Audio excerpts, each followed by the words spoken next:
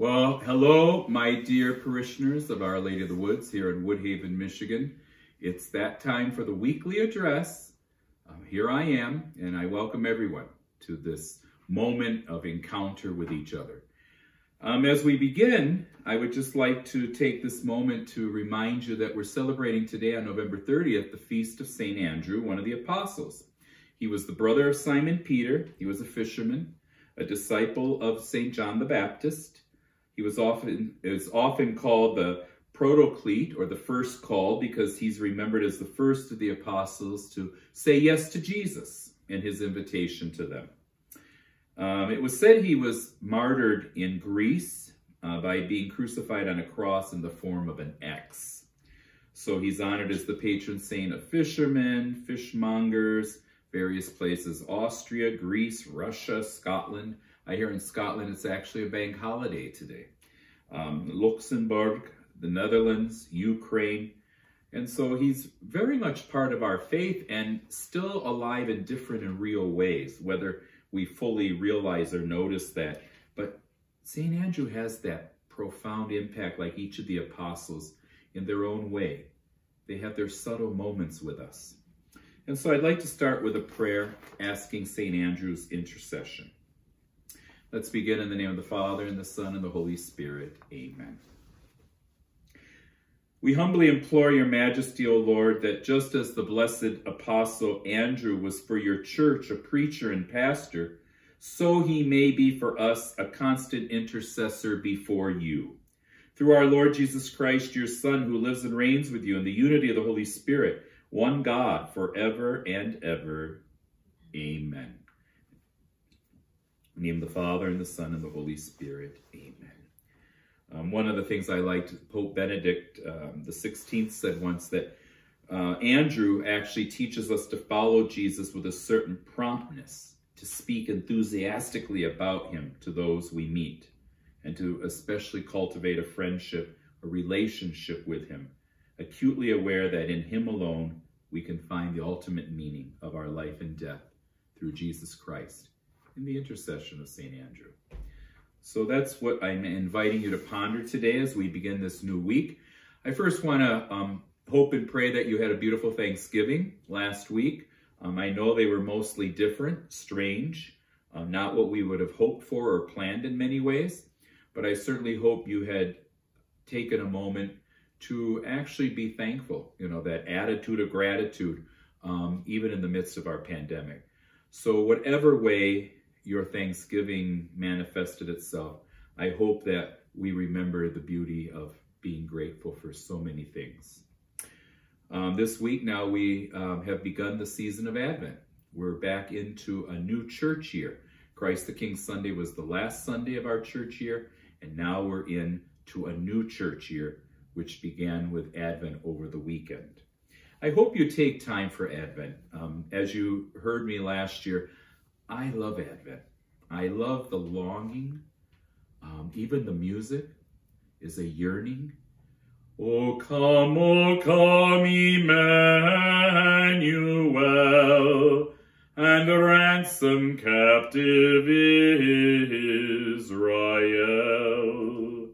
That beautiful kind of a yearning, a longing, a desire. It comes through in the beautiful prophetic voice of Isaiah through the prophet uh, John the Baptist. There's these wonderful moments that I hope and pray you'll take time with. Um, I hope you were able to get um, one of those blue books from the parish, or you can go online. There's all kinds of different um, Advent practices that you could take. If you're in a family, um, you know, here's my Advent wreath. But I'm hoping and praying. I remember when I was a little boy, um, we used to, whoops, they're all falling apart. That's okay, we got it um, it's a reminder that these candles can only stand firm if we live them. You know, the, the candle of hope and peace, the candle of love. And so again, I think they fell for a certain reason to remind ourselves that each of those candles stands for something. And, um, you know, right now in the world in the pandemic, you know, peace could be toppling down and hope and joy and love, but let's put it back.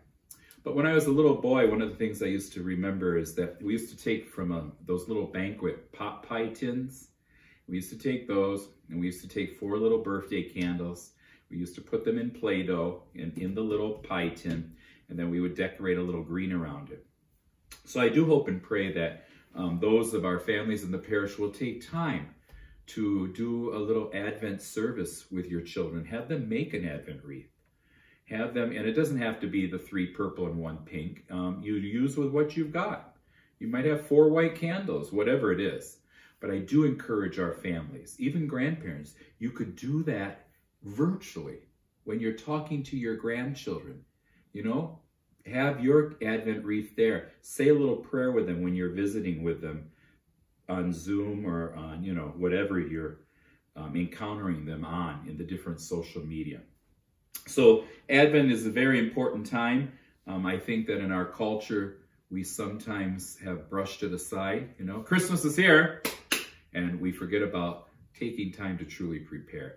Don't get me wrong. I sang about it last year. Yeah, I sound like a Grinch, you know, Father Bob the Grinch. Um, but I, I truly believe this, and I'm going to say it to you loud and clear. If you want to have a wonderful Christmas, you've got to have a wonderful Advent. I'll leave it at that. Um, the last thing, though, okay, I did lie a little there. I will say one other thing. There is a little service on our social media website for Olo, but you can you can Google them too, um, of an Advent wreath service for families. So it's on our social media of our parish. You can look it up, um, but you can also Google that. So Advent, very important. On my own update, um, I will be having surgery um, this Thursday, December 3rd.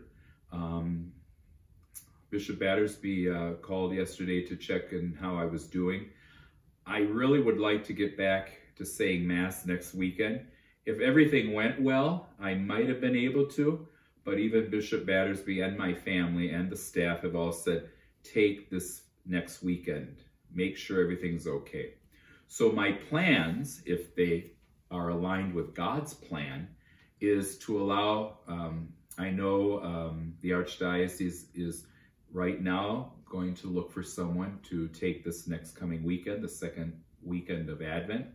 But my plan, if it's aligned with God's plan, is to start saying the daily masses on Monday, December 7th. So if things go well, but you'll hear about it. If something really doesn't go well, um, you'll hear about it in time so that you won't show up here and there's no one here. But if things go absolutely well, and I hope you'll pray for me as I remember you, I have my daily mass kit here. I do my private masses, so all the mass intentions of the parish are taken and remembered and prayed for, okay? So pray for me as I pray for you, and especially on December 3rd, I would appreciate a prayer. December 9th, we'll have the announcement of our family of parishes. Um, I know December 8th, um, for the Immaculate Conception, we would have the 9 a.m. and 6 p.m. Mass that day. Um, and then as we go along, just be aware of um, the Christmas novena coming up on December 16th. Um, you, if you have the need for the Sacrament of Reconciliation, um, see me again starting on the 7th. I will listen to confessions um, after the daily masses. You can make an appointment to see me. We still have two Saturdays from 3 to 4 um, for that after December 7th. And then on December, I think it's 17th. 17. Yeah, December 17th, mm -hmm. um, I will be in the church for an hour. We won't have a real service per se, but I'll be there and be able to listen to, for confessions then. So I still think you have a, you know, um, quite a few moments or opportunities. Uh, I would be looking at considering if you're going to come for Christmas Eve or Christmas Day. The Christmas Mass passes are going, you know, a little more and more. I know the 4 p.m. is now full. Now, don't forget, if you show up and it's full, you'll have to wait, and then there's a protocol. People who are waiting can be placed in the chapel, they can be placed into the gathering space, or into the social hall. So just be aware of that. And please remember, you know, this year we have to be very just brotherly and sisterly. You may not get the spot where you always sit, but maybe that's God saying to you, I want you to sit in a new space for Christmas. So just be accommodating, be hospitable, be understanding. Um, I know the the challenge or the friction will be a little of those who don't come usually to to the parish and they show up and um, they'll just have to understand that there if there's room and certainly there probably will be um, but that room might be in the chapel the gathering space or over in the social hall so you know be be understandable about that and and let people know that you might think are coming or plan on coming and they only come once a year. So we have um, up till now 94 available seats at the 7 p.m., 42 available seats at the 10 p.m., and on Christmas Day itself at the 10 a.m. Mass, there's 67 available seats. So just, um, you know, consider it, think about it.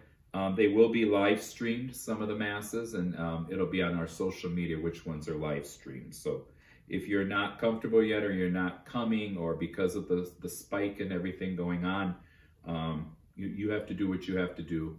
Feel safe, be safe, and live stream. I think at this point, I've talked about reconciliation, uh, the family of parishes. Uh, we still have our staff monthly meeting, um, December 10th. So we meet once a month, we pray together, and then we talk a little. So I'm going to close at this time, unless Becky has reminded me about something else. No, we're good. I want to close with what I'd like to leave you known. You know, we have this coronavirus going around. Well, there's one called the Advent virus. Now, the Advent virus comes from a page called, um, I think it's www.appleseed.org, and uh, look for Christmas and Advent quotations.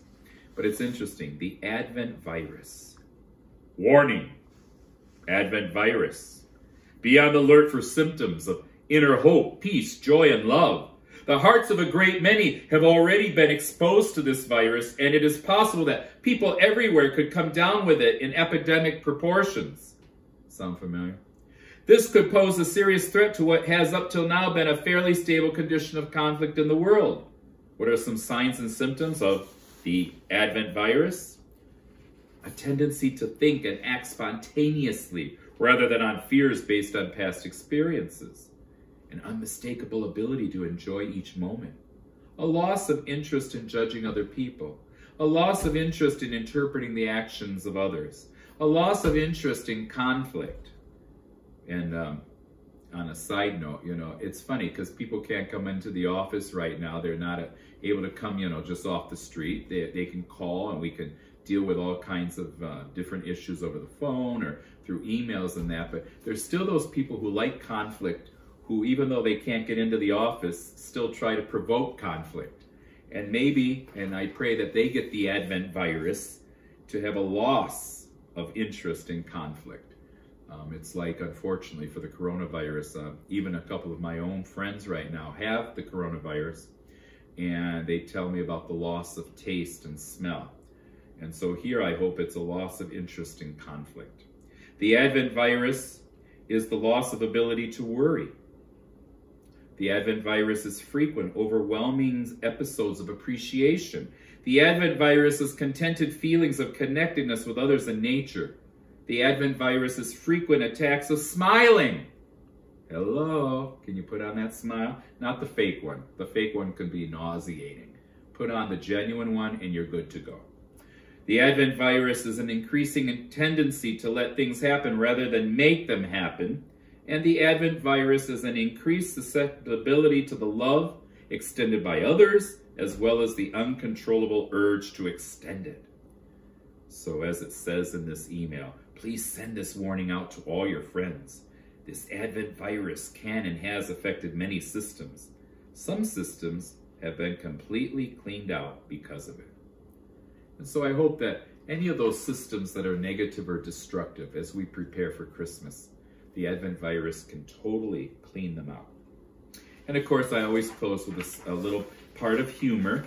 Um, this is a family, and it's funny. It looks like the father is there, and the children are all standing around with mommy, and they're going to light the Advent wreath. And the father's getting ready to re- uh, light it. The one boy is getting ready to read it, the littlest ones trying to get towards the fire. And I love what the little girl says on the side. If we were really patient, we'd wait till Jesus' birthday to light his candles, right? And I just love that little emphasis that the children are, you know, it's almost like the Advent wreath reminds them of Jesus' birthday candles. Patience. Patience is a virtue. It's also a fruit of the Holy Spirit. So I have a beautiful week, this first week of Advent, and um, pray for me and I'll pray for you. O come, O come, Emmanuel, and a ransom captive Israel.